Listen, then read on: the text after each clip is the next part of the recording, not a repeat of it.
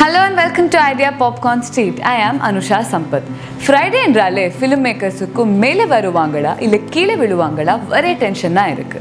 இந்த வாரம் காலிவுட் பாக்ஸ் ஆஃபீஸில் என்ன நடந்திருக்கு? வாங்க பார்க்கலாம்.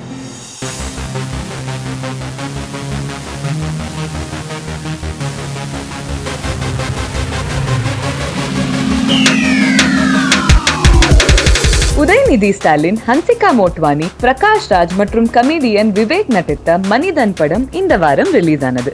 இந்த படத்தை டைரக்ட் பண்ணினது ஐ. அஹ்மத் மற்றும் ப்ரொடியூஸ் பண்ணினது உதயநிதி ஸ்டாலின்.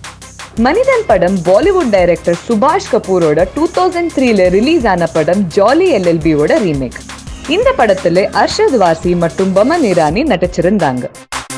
மனிதன் நீதிக்கும் அநீதிக்கும் இடைய நடக்கும் நீதிமன்ற போராட்ட கதை. ஒரு சாதாரணமான வக்கீல் சக்தி அதாவது உதயநிதி ஸ்டாலின் ஒரு வேலையை தேடி சென்னைக்கு வராரு. இங்க ஒரு மிகப்பெரிய லாயராக இவர் கனவு காண்றாரு. பல தோல்விகளுக்கு பின் அவருக்கு ஒரு பவர்ஃபுல் ஆள சம்பந்தப்பட்ட ஒரு கேஸ் கிடைக்குது. கேஸை வின் பண்றது முன்னாடி நிறைய தடைகளை ஆதிசேஷன் அதாவது பிரகாஷ் ராஜ் என்கிற பெரிய எதிர்காட்சி வக்கீல் மூலமாக இவர் சந்திக்க வேண்டி இருக்குது. கோர்ட் ரூம்ல இவர்களுக்கும் இடையே நடக்கிற போராட்டம் தான் படத்தோட ஸ்டோரி பிரகாஷ் ராஜோட பெர்ஃபார்மன்ஸ் எக்ஸ்ட்ராடினரிலி பவர் பேக்டா இருக்கு. அவரோட டைலாக் டெலிவரி அவரோட ரோலை ரொம்ப நல்லா என்ஹான்ஸ் பண்ணினது.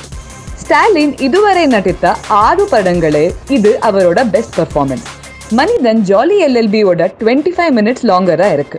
இந்த டைம் டைரக்டர் ஸ்டாலின் மற்றும் ஹன்சிகாக்கு நடுல இருக்கிற காதல் கதையை மாண்டாஜ் சாங்ஸ் வச்சு டெவலப் பண்ண ட்ரை பண்ணுறாரு. ஆனா இது படத்தை இன்னும் ஸ்லோ மட்டும் தான் பண்ணியிருக்கு. காஸ்டிங் படத்தோட ஒரு மேஜர் ஸ்ட்ரென்ஸா இருக்கு. மியூசிக் டைரக்டர் சந்தோஷ் நாராயண் கொடுத்த மியூசிக் மற்றும் பேக்ரவுண்ட் மியூசிக் ரொம்பவே நல்லா இருக்கு. படத்தோட சினிமட்டோகிராஃபி மற்றும் எடிட்டிங் படத்தையும் படத்தோட வியூயிங் எக்ஸ்பீரியன்ஸையும் பெட்டர் பண்ணியிருக்கு ஓவரால் இது ஒரு ஃபீல் குட் ஃபிலிம் நடுவில் உங்களை பிளாட்லேருந்து டிஸ்ட்ராக்ட் பண்ண வச்சாலும் படத்தில் இருக்கிற கேரக்டர்ஸ் உங்களுக்கு ரொம்பவே பிடிக்கும். நாங்கள் இந்த படத்துக்கு two and half out of five popcorns கொடுக்குறோம்.